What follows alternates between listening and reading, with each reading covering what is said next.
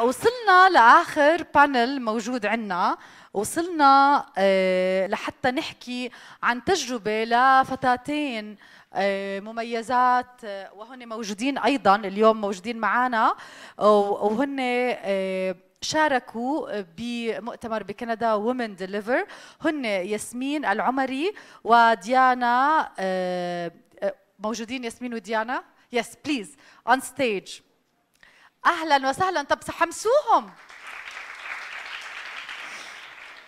تفضلوا. وبدنا الميكروفون تاني.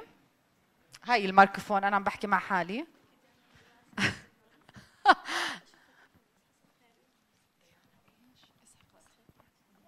ديانا إسحاقات اذا آه، وياسمين العمري أهلا وسهلا فيكم. آه، ياسمين وديانا ارتاحوا وقعدوا براحتكم زبطوا الكراسي زي ما بدكم. وكمان بحب أطلب بس منكم تيجوا لقدام مش حلو مناظر الكراسي الفاضية. لازم أحكي لكم أغش لكم هذه الغشة. فقربوا بس لقدام عشان الكراسي الفاضية ما تكون فاضية. الشباب الصبايا قربوا في كرسي فاضي هون تعالوا اقعدوا. أيوه برافو شباب يلا.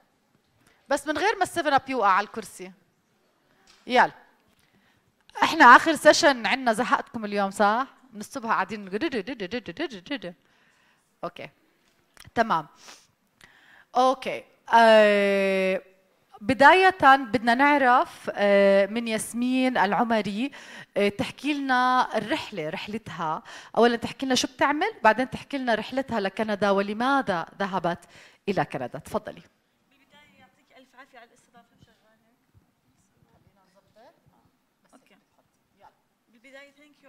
الاستضافه لا الصوت مو مسموع.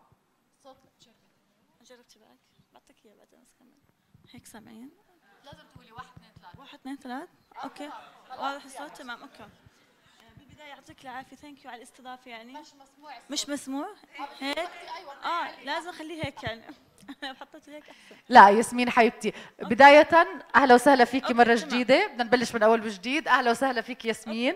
آه تعرفينا على نفسك وتحكي لنا رحلتك متى بدأت إلى كندا؟ تمام okay.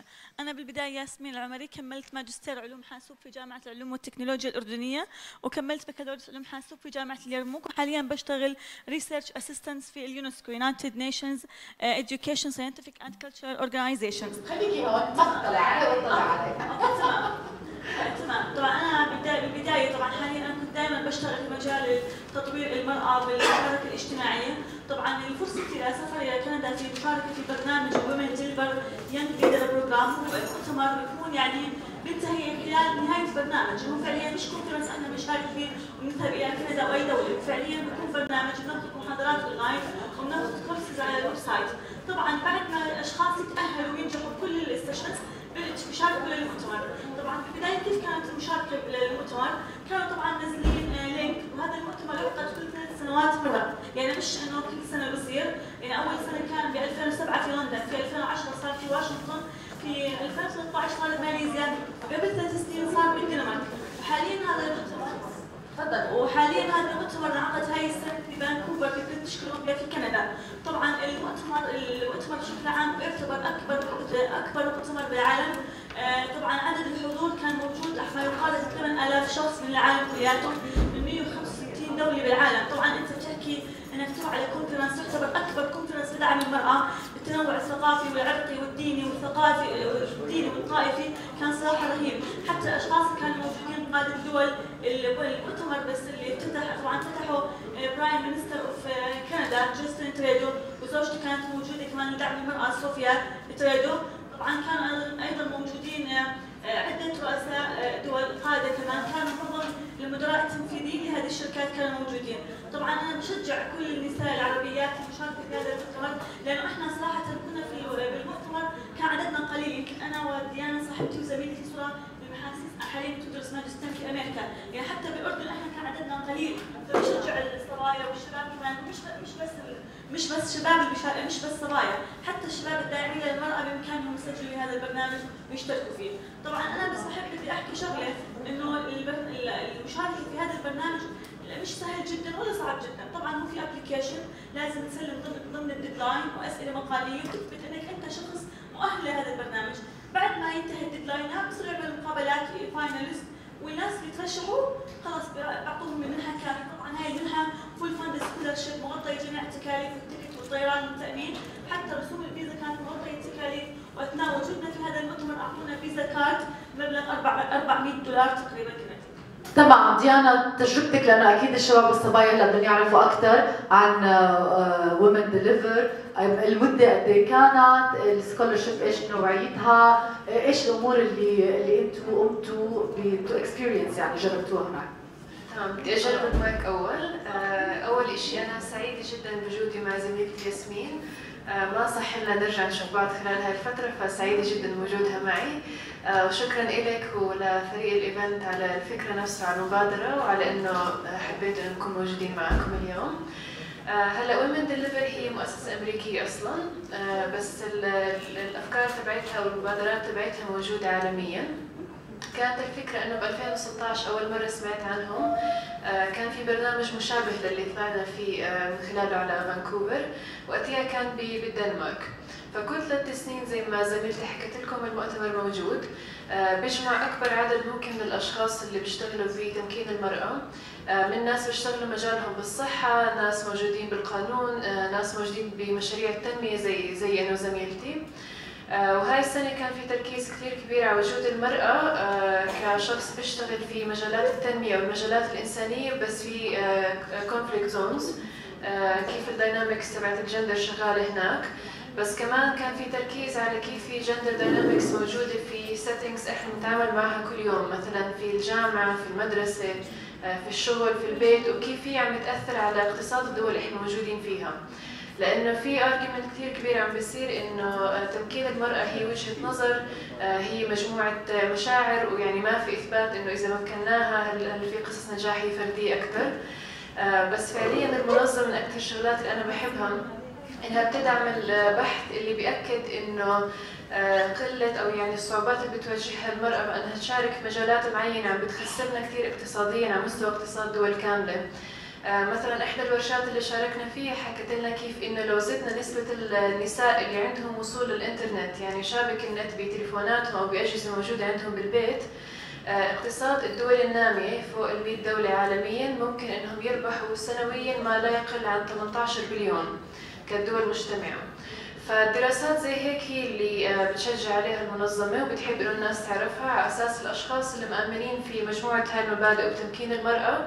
آه، تكون الكيس تبعتهم اقوى لأنها مبنية على أبحاث مبنية على أرقام فبطل الموضوع مجرد وجهة نظر أو قصص نجاح فردية.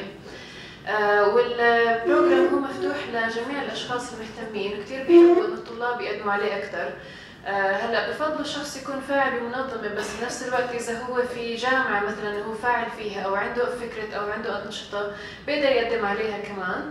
آه، وهي بتتيح لأنه أول شيء قبل بسنة من ما يفتح نفس ال conference آه، بتقدر تتدرب اونلاين تاخذ study cases مختلفة. بصير عندك فهم أعمق عن التطبيق العام للمبادئ اللي نفس المؤسسة بتآمن فيها؟ زائد إنه بتشبك مع أكثر من 300 شخص حول العالم بيشتغلوا في نفس المجال وعندهم نفس المبادئ. وبعد بسنة لما يجي وقت ال conference بصح لك تحضر آه، أول شيء زي ما زميلتي ذكرت في مجموعة شخصيات كبيرة بتيجي عليها بتقدر تتفاعل معها بتقدر تحكي معاهم. إذا في عندهم فرص متاحة لك تقدر تشبك معاها كمان. آه، وبنهاية ال conference أنت جزء من شبكة عالمية بتقدروا تساعدوا بعض. إذا عندكم أفكار لمشاريع بتقدروا تقدموا على دعم. آه، أقل دعم قدمته Women Deliver للمشاريع كان ببلش من 4000 وطالع. فهي مبالغ مستاهله للاشخاص خصوصا اللي ما عندهم base آه، أخرى حاليا. سريعا بدنا نسمع من ياسمين آه، ما هي الأمور والتحديات؟ وبرجع بحكي التحديات التحديات التحديات اللي شفتيها متشابهة آه، أو مختلفة. اليوم النساء عم يواجهوا بمختلف مناطق العالم خاصة بكونفرنس كبير عم بضم هالمجموعة الكبيرة. حتى في بعض الدول غير مشاركة فيها مثلا السعودية ما شفنا أي حدا مشارك فيها أو حتى بعض دول الخليج مثلا الإمارات بشكل عام دولة تعتبر متطوره إلى حد ما ما شفنا أي حدا من المشارك طبعا بس شو كانت التحديات اللي حسيتيها مشتركة؟ التحديات كانت بشكل عام هي ال language بشكل عام غالبية المؤتمر كان مختلف الثقافات غالبية ال conference كان الناس ما بيعرفوا مثلا متمكنين باللغة الإنجليزية. بعض الناس يعني بعض الناس كانوا جزء من المشاركين بس ما قدروا يفهموا إيش عم بيصير حواليهم. خاصة أنت بتحكي عن 165 دولة بالعالم بتحكي آه، ثقافات مختلفة. فأحيانا كانت اللغة اللغة هي العائق الوحيد بس بشكل عام كانت مسهلة لأنهم أصلا كانوا جايبين ترانزليشن كذا. هاي تعتبر إلى حد ما في لكن كتحدي حقيقي بتواجه المرأة يعني على سبيل المثال المرأة في بعض المناطق ما بيكون لها حق التعليم كالرجل أو يفضل الرجل عن المرأة في التعليم العالي. هل لمستي هذا الأمر في بلاد أخرى أيضا مثلا موجود؟ لأنه إحنا موجود عندنا إلى حد ما. إذا إذا ابني بده يصير دكتور وبنتي بدها تصير مهندسة ببدي ابني. إذا بنتي بدها تطلع على عمان عشان تدرس آه، محامية لأنه حوالي ما في جامعة ما بوديها على ادرس أي شيء ادرس أدب إنجليزي. يعني في إحنا عندنا هذا التحدي. شو هي التحديات؟ نسير اللغة. أنا بحكي تحدي مرأة أمام مرأة بمجتمع أمام مجتمع. بالنسبة للأردن بشكل عام الأردن بلاد المشاركه طبعا كانت أكيد هي المشاكل السياسية والتحديات موجودة بين كاي امراه إحنا بنواجه بعضنا أكيد إنه آه، غير غير متاحه للتعليم، بعض النساء كانت غير متاحه للتعليم، يعني كانوا جايين فقط هم حتى في شفت أنا صبايا من الهند هم جايين هم دافعين للكونفرنس، إحنا جايين بس نحضر حتى نحصل على سكولرشيب، كمان أثناء حتى يعني أثناء الويب إحنا نجهز مو البيس بعض الدول الناميه مثل الهند وسريلانكا وهي الدول كانوا الأشخاص بس اللي يشاركوا بالمؤتمر كانت يتم رفضهم هاي الأمور السياسيه فما بالك بالتحديات المراه بشكل عام في المجتمع تحكي عن المؤتمر العالمي واجهت هاي الصعوبات فما بالك أكيد التحديات كانت ديانا.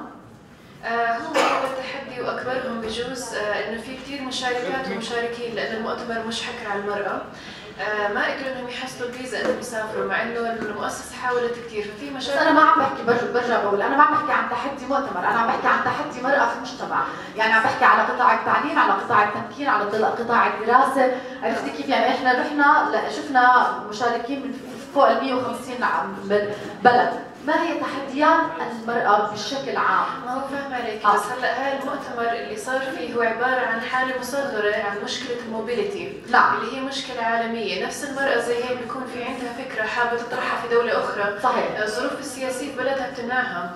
فهاي كانت حالة مصغرة عن مشكلة أكبر منتشرة. آه شغلات ثانية أول شيء البحث والتطوير في مجال تمكين المرأة لاستخراج أرقام وحقائق ثابتة. آه مش فكرة منتشرة في جميع الدول أو جميع المؤسسات. في كثير ناس فكروا إنه هي مجرد يعني PR issue أو يعني CSR هم حابين يعملوا عشان يعملوا حمله لتمكين المرأة. بس هي لا تنم عن أهداف فعلية آه، رح تطبق بعد نهاية هاي الحملة. فهي نعم. شغلات كمان تم النقاش فيها. تمام. تفضلي. كانت التكلفه المادية. التكلفة المادية بشكل عام هي أكيد يعني المبالغ المادية هي مشكلة. طبعا. يعني تعتبر أكيد هاي يعني أكيد. عقبة أساسية للكل لكل الفتيات سواء كان في الأردن أو يعني بلاد ثانية والتعليم أكيد. أكيد. حتى كمان البطالة كان هذا جزء مهم جدا بالكونفرنس. حكى عنه جوستن تريد أنه المرأة لازم نحاول نساعدها في إيجاد فرص عمل لها وتوظيفها. هل بتعتقد اليوم زي ما كنا بنحكي من بداية الملتقى أنه اليوم واحدة من تحديات المرأة بشكل عام بالعمل أنه آه، هي ما بتاخذ فرص متعادلة مع الرجل؟ وأحيانا يتم التفضيل التفضيل based on gender وليس based on قدرات؟ وجودنا بالمؤتمر كندا كان صراحة الكل يعني على مستوى هاي ليفل الكل بيشتغل الكل أموره تمام. يمكن هذا الشيء موجود في الدول العربية لكن أثناء الأشخاص اللي قابلتهم في كندا أو الدول المتقدمة كان الكل سواء مرأة أو حتى كان المؤتمر سامح للناس من ذوي الاحتياجات الخاصة يشاركوا فيه. فكان يعني حتى النساء البريجنسي الحوامل أو حتى اللي عندهم بيبي آه، مده أعمارهم شهر واحد كانوا موجودين فكانوا يدعموا المرأة بجميع النواحي. أما ما ما حسيت إنه في آه، تمييز أو مفارقة أثناء بشكل عام. ما حسيت هذا لا الشيء. لا بشكل عام. بشكل عام أكيد موجود. أكيد بالتأكيد. اليوم أنت بمهنتك بعملك بمجالك بتحسي إنه هناك مفارقة يعني تفريق أو فرق أو الناس بتصير في عندها آه، يعني حكم عليكي فقط لأنك امرأة ولا بتحسي إنه لا إحنا وصلنا لمكان ربما بالأردن صار في عندنا فهم أكبر لقدرات الشخص أكثر من إنه تمييزه على ال... بالأردن يعني وصلنا لمرحلة جدا متميزة. حتى أنا كنت هكلان هم وأنا بالمؤتمر يمكن أواجه مشكلة اني إيش بدي أشرح عن الأردن يمكن الناس ما بتسمع عنها. خاصة أكيد إحنا بس كنا بالكونفرنس بحكي لك 165 دولة بالعالم أسماء دول ما بنسمع عنهم. فتفاجأت وأنا بالكونفرنس ناس سألوني عن الملكه رانيا. في شخص كوري سألني عن الأمير علي عشان الفيف الفيفا بالنسبة للمباريات. نعم. نعم. في كمان ناس سالوني عن وادي رم. شو عرفكم؟ بيحكوا عشان ويل سميث إنه مثل الفيلم علاء الدين اللي تم تصوير منه طبعاً. في وادي رم. فالحمد لله في الأردن بشكل عام الناس عارفين عنها. وهي أنتم كمان صرتوا سفراء آه جدد للأردن حبيبتي. ديانا آه، انطباعاتك الأخيرة لأنه إحنا خلص يعني دقيقتين فبدي أعطي المجال إذا في حدا بحب يسأل سؤال. انطباعاتك بعد ما عدتي شو حسيتي آه، صار في عندك آه مسؤولية جديدة آه، صار في عندك ربما فيجن ورؤية جديدة لأشياء كنت بتعمليها. آه، أول إشي بحس المسؤولية أكيد صارت أكبر على أشخاص زي وزي ياسمين والمشاركات الآخرين لأنه إحنا حابين آه، أول إشي ناس أكثر إنها تشارك تعرف إنه هالفرصة موجودة. لأنه بشعر إنه المشكلة كانت مش بس بقلة عدد المشاركة بس إنه في ناس ما كانت تعرف إنه أصلا هالفرصة متاحة وهي موجودة. وهذا مؤشر إنه الواقع ممكن يكون مختلف جدا للأشخاص الموجودين بالمجتمع الأردني. ممكن فئة معينة تعرف عن هالفرص فئة ثانية ما تعرف عنها. ناس تعرف بس ما تعرف كيف تقدم. فهاي إحدى الشغلات اللي بحب إنه إحنا نغيرها وننشر إنه هالفرصة موجودة اللي بيحب يقدر يقدم عليها. شكرا جزيلا لوجودكم معنا صبايا ومبسوطين فيكم وسعيدين فيكم. الله يوفقكم دائما. ودائما نحن جميعا سفراء بلادنا سفراء الإيمانات اللي بنعيش فيها سفراء ثقافتنا.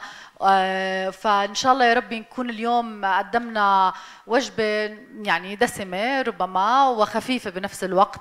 آه، بما إنكم بلشتوا معنا من الصبح للمساء فبتكون يعني فطور إيش سناك. لانش تمام شكرا ياسمين وشكرا ديانا واهلا وسهلا فيكم شكرا لكم